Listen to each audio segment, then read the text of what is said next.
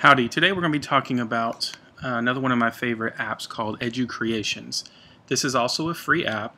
It's basically a virtual whiteboard app that allows you to record both what's happening on the screen as well as audio. You can also import photos and other things into, into the app. So it's right here. Um, it's the white icon. We're going to press it, EduCreations. Again, today I'm using the mouse to kind of show you what I'm touching on the iPad since you can't see what my finger is pressing. I'm going to start off assuming that you have an account on EduCreations. You, you are not required to have an account to use the app, but for saving and the purposes of the way I use it in my classroom, I, I highly suggest getting a, a, an account. It is free. Um, you simply just sign up with your email, and I believe you can do that on the iPad or on the web and then you'll use that email and password to log in both on the web and on the iPad. So you can see here I'm logged into EduCreations and I have um, some lessons that have already been done. But I'm going to go up here to the top and press New Lesson and it opens up this virtual whiteboard. At the top you can see the different tools. When you're done you press done obviously. There's some different colors if you're drawing on the screen which I'll show you just wherever I'm drawing on it records that and I can press the, I tell my kids it's the uh-oh button, but the undo button to um, just go back. You can insert pictures, you can insert text.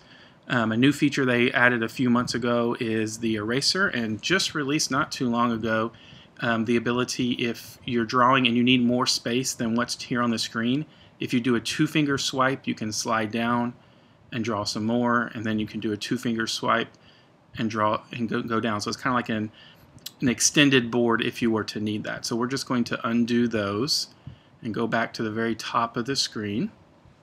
So the way I use this app in my classroom is mostly for, in the beginning of the year, is for teaching the kids and um, it's kind of like my virtual journal. But what it allows me to do when I'm done is save that lesson, email that lesson to my parents so they can see what we're doing in the classroom. And, and it's um, something that the kids love showing their parents at home and also um, the parents enjoy seeing what's happening in the classroom. That's one way you can do it for the older kids. It's a great tool for them to, you know, do different like book record, book reports or um, just to share their learning. So I'm going to show you how simple it is. I've just been drawing on the app with my finger. That's what's on here. You can see there's there's different colors that you can pick from. It's not unlimited, but there are quite a few colors on there now. You can add text. You just tap anywhere on the screen and you would just type text that can be edited and changed um, different ways. The um, tool we use the most in my classroom is add a photo. So when you press add a photo, you get the option how you want to do it, Dropbox, those different things. One cool feature that um, I know some classes have done before.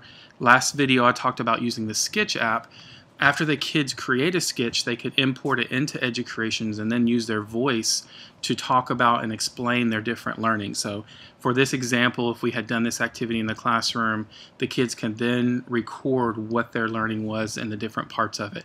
So it's, it's kind of a way to do a um, PowerPoint with audio type things. Down at the bottom you can see you can add different pages on there as well.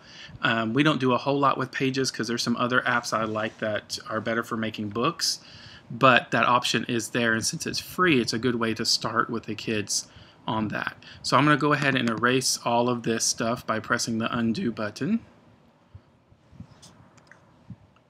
Get back to the normal screen.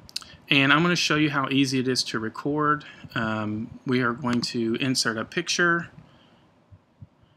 and let's let's learn about Texas. So we're going to talk about my favorite meal, the Longhorn here. So if I was doing an activity with the kids and we were labeling the Longhorn or discussing the different symbols in the class, up here in the top, there's the record button. So as soon as I record that, anything that's happening on the screen or um, any of the audio will be recorded.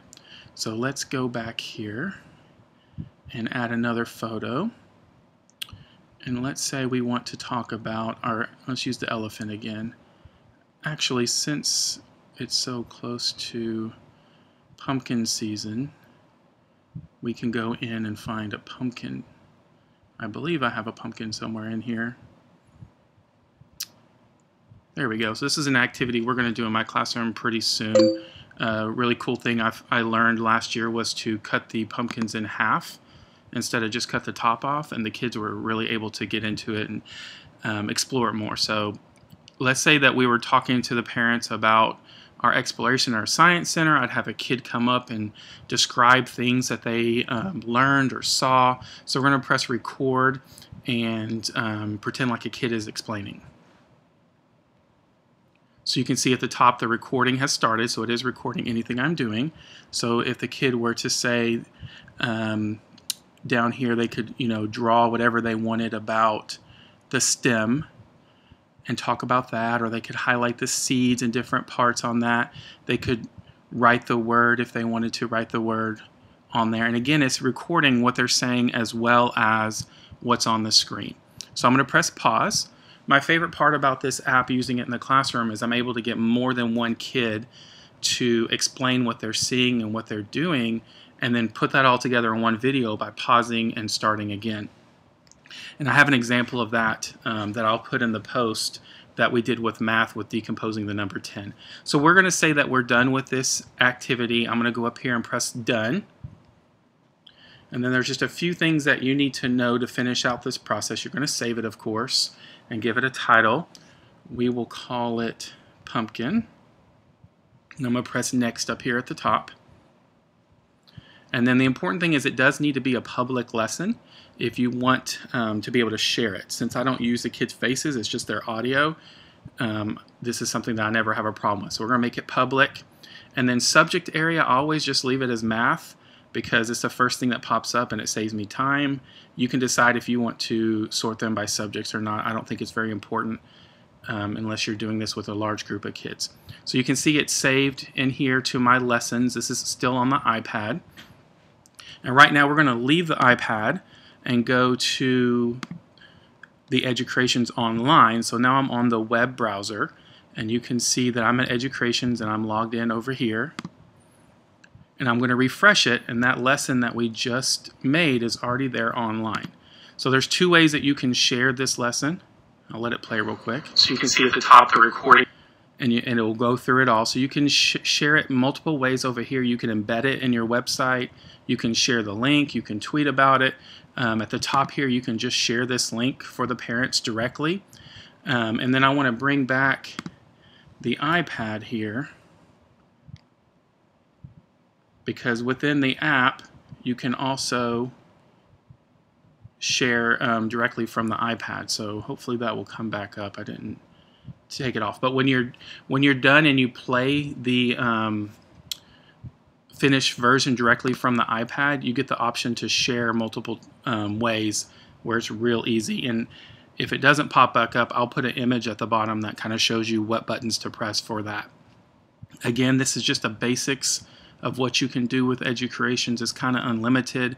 We use it a lot in my classroom for pulling in images that we make on other apps and then using the audio feature to record them talking about what they've learned from those apps. As always, if you have any questions, please leave them in the comments, and I appreciate you